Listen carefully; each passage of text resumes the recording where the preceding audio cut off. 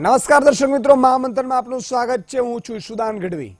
છેલ્લા કેટલાક અઠવાડિયાથી દેશની સરહદ જે રીતે સળગી રહી છે, તેને જોતા સરકારની નીતિઓ પર સવાલ ઊભા થાય છે. ખાસ કરીને કાશ્મીર નીતિ પર. પહેલા પાકિસ્તાન દ્વારા સીઝ ફાયરનું ઉલ્લંઘન, પછી જવાનોની શહાદત, અને હવે હોસ્પિટલમાં ઘૂસીને આતંકીઓનું પોતાનું સહયોગીને મુક્ત કરાવવાનું દુઃસાહસ. આ તમામ ઘટનાક્રમને જોતા એમ લાગે છે કે પાકિસ્તાનની હિંમત દિવસે ને દિવસે વધતી રહી છે. તો બીજી તરફ સરકાર સમગ્ર મામલે મૌન છે. મોદી સરકારને સત્તા પર બિરાજમાન થયે ચાર વર્ષ પૂર્ણ થવા થયા જાય છે, પરંતુ આ ચાર વર્ષ જમ્મુ કાશ્મીરમાં કશું બદલાયું નહીં. જવાનો પણ શહીદ થયા, કેટલીક માતાઓએ પુત્ર પણ ખોયા, તો કેટલીક મહિલાઓએ પોતાના પતિ ગુમાવ્યા વર્ષોથી ચાલી આવતી આ પ્રક્રિયા પર હજુ બરકરાર છે. ત્યારે સીધો સવાલ સરકાર પર ઉઠે છે કે ક્યાં સુધી શહાદત વહોરવાની? હવે સમય આવી ગયો છે પાકિસ્તાનને જવાબ આપવાનો. અને આ માદે ઉપર ચર્ચા કરીશું મહામંથનમાં મારી સાથે.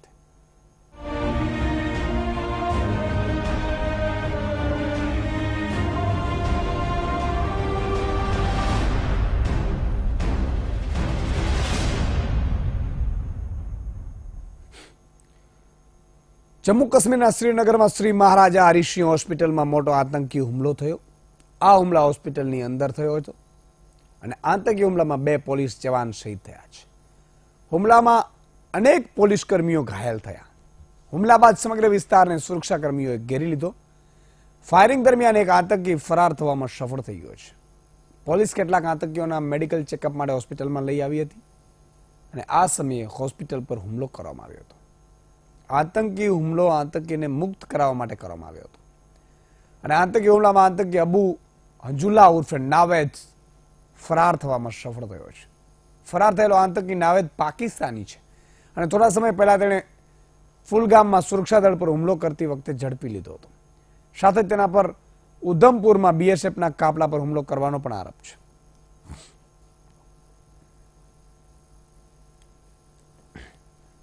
थे उसमें से एक ने one try to snatch the weapon probably उसने उससे फायर किया है। हमारी जो पार्टी है प्रोटेक्शन पार्टी उस पर फायर किया है। दो उसमें एक क्रिटिकली इंजर्ड है और एक इंजर्ड है। तो एक one detainee has fled away rest five we have just taken back to the safe place अभी हमारे पास preliminary रिपोर्ट है he is named by Naveed Naveed Is he a Pakistani? We are verifying it. Most probably he's a, he's an outsider. So we are verifying it. We'll come up with the details. Sir is any red alert alert नहीं red alert नहीं है there is a system in place उसके बाद वो automatically वो वापस आ जाता है जो सिटी में चेकिंग है या नाका सिस्टम है वो प्लेस में आ जाता है we are we are doing things on શ્રીનગરમાં આતંકીને મુક્ત કરાવવા માટે હુમલો કરવામાં આવ્યો, જેમાં એક પોલીસ કર્મી શહીદ થયો છે અને આતંકી અબુ હંજુલા ઉર્ફે નાવેદ જટ ફરાર થવામાં સફળ થયો છે. નાવેદની બે હજાર ચૌદમાં કાશ્મીરના ફુલગામમાંથી ધરપકડ કરવામાં આવી હતી. ફુલગામમાં સુરક્ષા દળ પર હુમલો કરતી વખતે ઝડપી લીધો હતો. નાવેદ લશ્કરે તૈયબાનો આતંકી સંગઠન છે. નાવેદ પાકિસ્તાનના મુલતાનના સાહિલવાલનો રહેવાસી છે અને ઘણા વર્ષોથી દક્ષિણ કાશ્મીરમાં રહીને આતંકી ગતિવિધિઓને અંજામ આપતો હતો. તેના પર ઘણા પોલીસ પા- પોલીસ પાર્ટી પર હુમલો કરવાના પણ આરોપ છે તેના પર ઉધમપુરમાં બીએસએફના કાફલા ઉપર પણ હુમલો કરવાનો આરોપ છે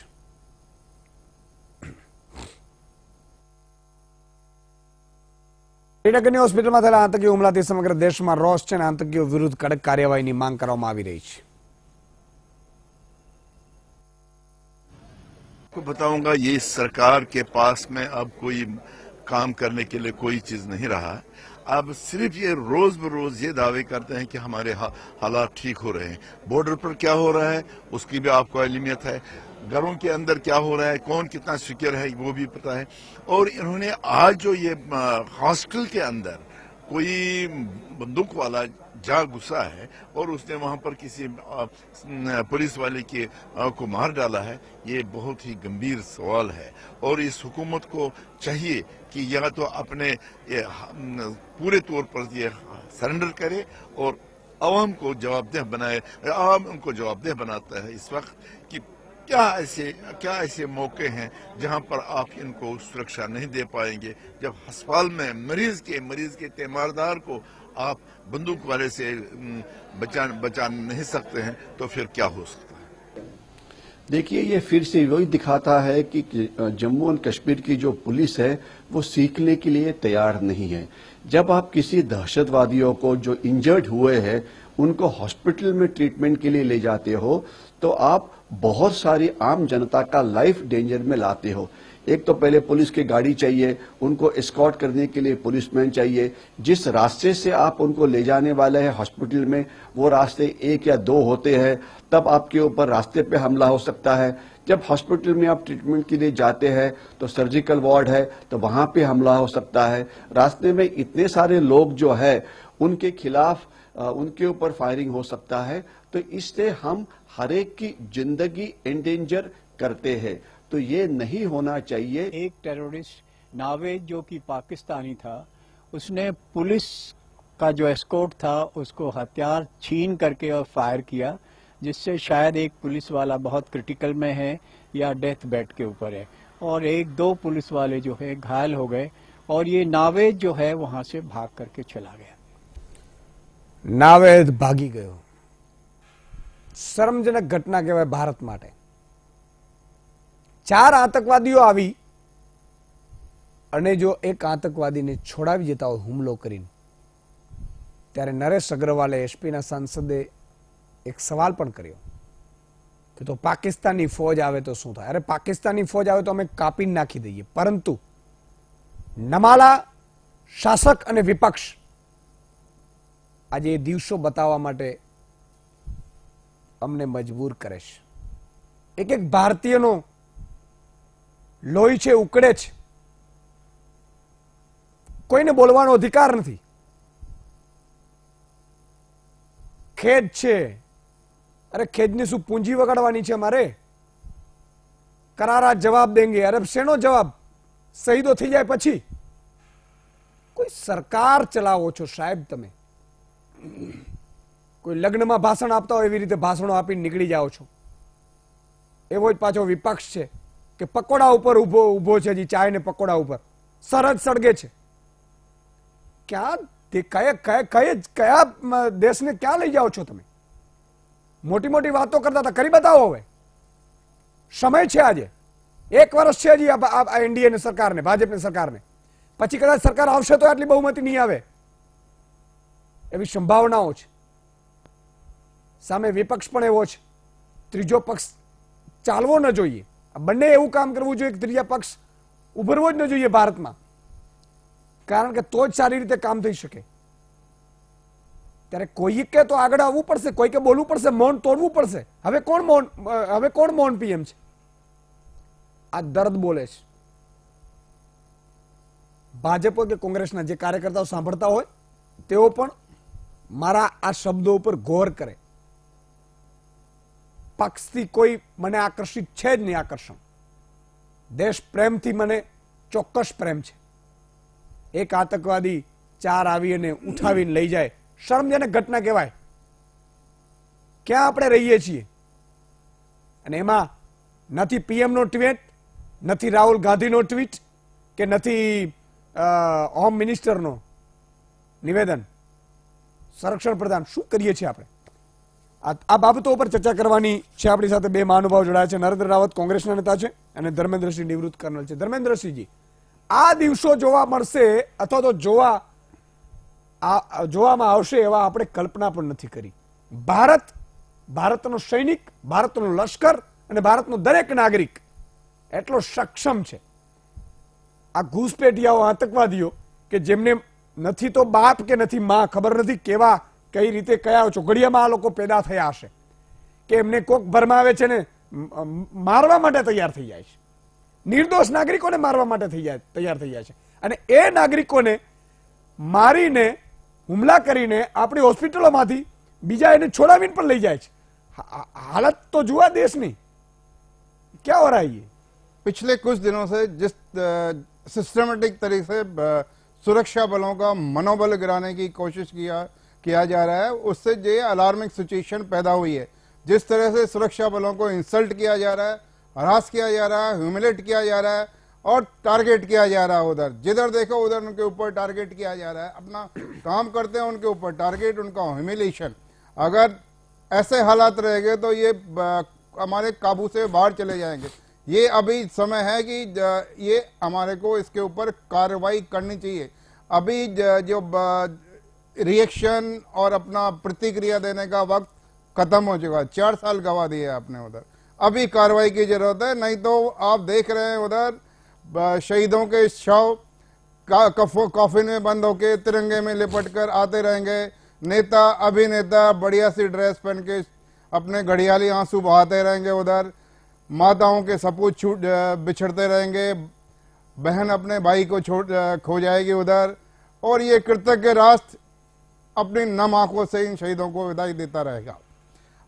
मैं तो कहता हूँ नाउ और नेवर अगर अभी हालत के अंदर रिएक्ट नहीं किया हमने उधर, इसका मतलब हमारी इच्छा शक्ति नहीं है। हमारी कोई कश्मीर के बारे में कोई नीति नहीं है उधर। अगर नहीं है तो बनाओ उधर। अगर नहीं बनाती, किसी दूसरे से संपर्क करो।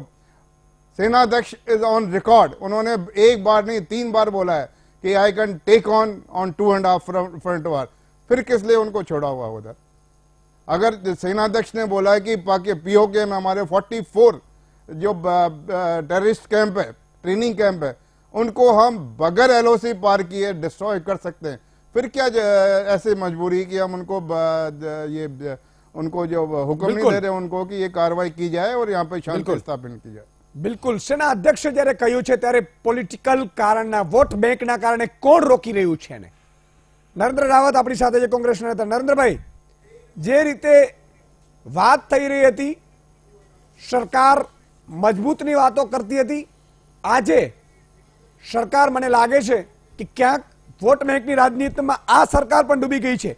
આગળની સરકારો ઉપર પણ આક્ષેપ થયા છે. એક ઇન્દિરા ગાંધીએ કામ કર્યું હતું, બાંગ્લાદેશને અલગ કરીને. અને એમણે પરચો બતાવ્યો હતો કે ભારતની તાકાત શું છે. ત્યાર પછી તમામ સરકારો આજે આજે મોકો છે આપણી પાસે. આપણી પાસે કદાચ ભલે યુદ્ધની સ્થિતિમાં ન આવીએ, આર્થિક સંકળામણના કારણે. બલુચિસ્તાનને અલગ તો કૂટનીતિથી કરી શકીએ છીએ આપણે. છતાં શાસક નથી કરતું અને વિપક્ષ પકોડાથી બહાર નથી આવતું. શું કહેશો?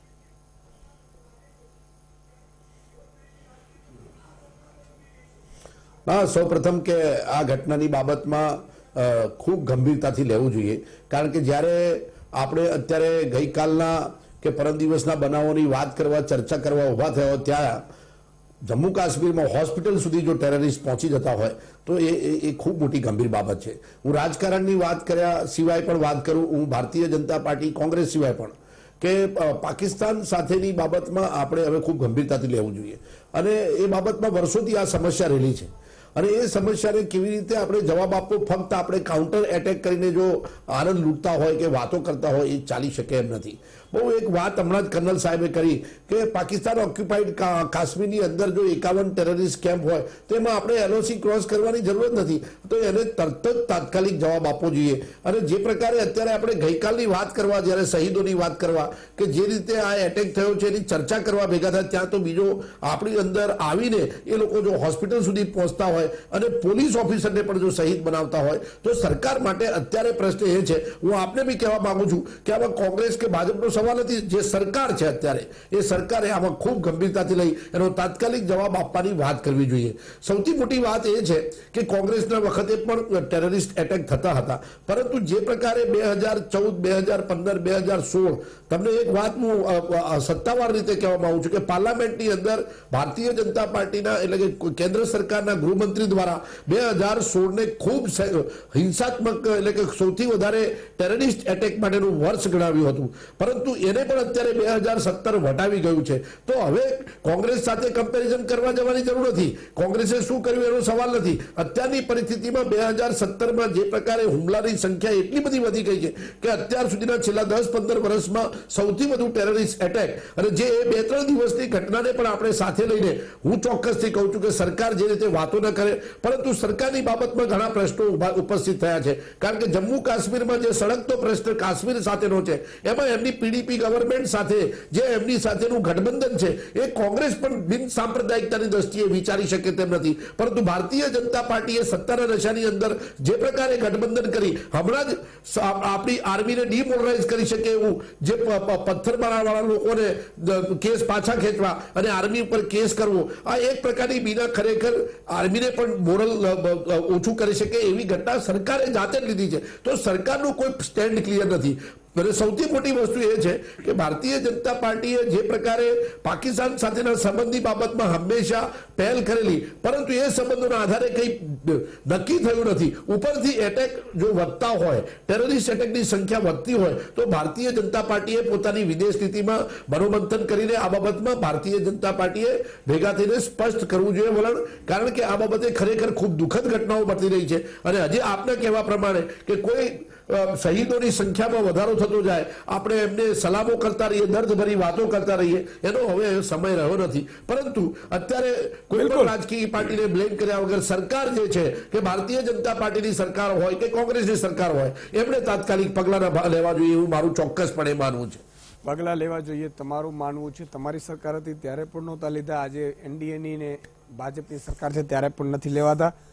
ખબર નહીં. હવે સરકાર આવશે એ કેની કોની આવશે ખબર નથી. પણ આ તમામ સરકારો છે, એ જનતાને તો ખરેખર લોલીપોપ જ આપી છે. ઘણી બધી બાબતો છે યાર. તમારાથી કશું નહીં થાય તો ચાલે, પણ સરહદ ઉપર સુરક્ષા તો કમસે કમ કરાવી શકો. આપણે આપણું ઘર નહીં સાચવી શકીએ ને, તો ગામમાં, ગામના ઝાપામાં જવાની જરૂર નથી. આ સ્પષ્ટ છે સંકેત. આજે મારે ગુસ્સા સાથે કહેવું પડે છે કે સ્થિતિ કાશ્મીરમાં અને પાકિસ્તાન આતંકવાદીઓની જ્યાં સુધી છાલ ન ઉખાડી શકે ત્યાં સુધી એ પીએમને અથવા તો એ ગૃહમંત્રીને અથવા તો એ વિપક્ષના નેતાને ઊંઘ ના આવવી જોઈએ. શું કામ આપણે મોટે મોટી વાતો કરીએ છીએ? ચુમ્માલીસ આતંકવાદીના કેમ્પ છે. ઉડાવી દો. કોણ રોકે છે? અને એ ઉડાવ્યા બાદ આપણે બોલવાની હિંમત કરવી જોઈએ. ત્યાર પછી મન કી બાત કરો તમે. આ ઘણા બધા સવાલો છે. આ દર્દ આજે નહીં સાંભળો, તો જનતા તમને કાલે નહીં સાંભળે. નાનકડા વિરામ બાદ દર્શક મિત્રો ફરીથી આવીએ છીએ. બાદ દર્શક મિત્રો ફરીથી મહામંત્રમાં આપનું સ્વાગત છે. આપણે ચર્ચા કરીએ છીએ. હવે કરી બતાવો. ધર્મેન્દ્રસિંહ જે રીતે આખા સમગ્ર ઘટનામાં આપે કહ્યું કે સરકાર છૂટ આપે તો આર્મી ઘણું કરી શકે એમ છે. તો શું કોંગ્રેસ સરકાર જે રીતે આર્મી ઉપર એક કંટ્રોલ કરીને એક પોતાની વોટ બેંક બચાવતી હતી સેમ એ જ રીતે ભાજપ પણ એ જ કરી રહ્યું છે મતલબ આ સરકાર પણ એવું જ કરી રહી છે मैं ज- इस राजनीति में नहीं पढ़ना चाहूंगा लेकिन ये मैं जरूर एज ए कॉमन मैन ये पीडीपी की सरकार पहले कांग्रेस के साथ में थी जब केंद्र के अंदर कांग्रेस की सरकार थी लेकिन कभी मैंने केंद्र की सरकार को इतना मजबूर हालत में नहीं देखा जितना आज देखे जा रहे हैं आज ज- राज्य सरकार है जो पीडीपी जो पार्टी है वो दूसरी पार्टी को डोमिनेट कर रखी है। उनको एक तरह से निकम्पू बना रखा है दूसरी पार्टी को। जो उनकी मर्ज़ी है वो कर रहे हैं ऐसे मजबूरी क्या। मेरे को समझ में नहीं आ रही टोटल जम्मू एंड कश्मीर में छह लोकसभा सीट है उसमें तीन कश्मीर वैली में एक लद्दाख में दो जम्मू में। तो इसके लिए ऐसी क्या मजबूरी है समझ में नहीं आ रही। आज की जो घटनाएँ हुई है उसके लिए क्या कहते हैं ये इनका जो खुफिया तंत्र है वो पूरी तरह से फेल हुआ है उधर। ये प्री प्लान एस्केप था उधर। कोई सोचा कि स्पॉन्टेनियस हुआ ऐसा नहीं हुआ उधर। उधर से वो लोग आए हैं उधर उनके पास में ये इनपुट थे कि इस तरीके से ये कार्रवाई की जाएगी उधर। तो इसके लिए ज़रूरी है कि जवाबदेही तय हो जो दोषी है उनके खिलाफ कड़ी से कड़ी कार्रवाई हो। जब ये एक कड़ा संदेश जाएगा उधर। अच्छा होता अगर ये छह पुलिस वाले मर जाते। अठारह में से कम से कम दस मर जाते हैं लेकिन ये छह के छह टेररिस्ट भी वहाँ पर ये वहाँ पर वो जन्नत में चले जाते हैं तो बहुत अच्छा होता आज आज देश उसके लिए गर्व कर रहा होता कि जम्मू एंड कश्मीर के पुलिस वाले। शहीद हो गए उधर। लेकिन आज हमारे लिए शर्म की बात है उधर कि हमारी कस्टडी में से दूसरी बात है कि वो उसके लिए बहुत बड़े अस्पताल में रेफर किया गया। उस टेररिस्ट को रेफर किया गया है जिसने सुरक्षा बल के ऊपर गोली चलाई और भाग गया उधर इसका मतलब जिसने रेफर किया है उसकी भी जांच होनी चाहिए कि उसने किसके दबाव में किसके कहने से जो बिल्कुल। रेफर किया क्या उसमें जम्मू एंड कश्मीर की सरकार तो इसके अंदर इन्वॉल्व नहीं है બિલકુલ નરેન્દ્રજી શ- શું લાગે છે જમ્મુ કાશ્મીરની સરકાર અને પોલીસના જાપ્તામાંથી આ ભાગ્યું છે એટલે કે જમ્મુ કાશ્મીર સરકાર ક્યાંક ને ક્યાંક ઇન્વોલ્વ છે અને પીડીપીની સરકાર છે